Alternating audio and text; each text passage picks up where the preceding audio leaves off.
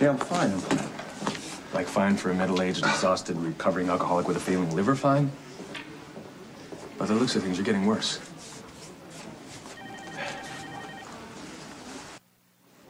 All right, let me get this straight. You're asking me to meddle in your father's life. Yes, and the sooner the better.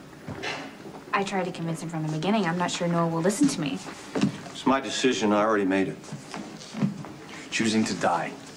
Do you understand how selfish that is?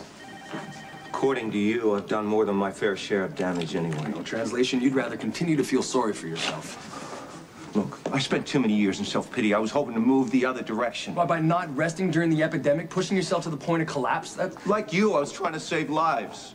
what about all the lives you still need to save? Starting with your own. You Guys, this isn't helping.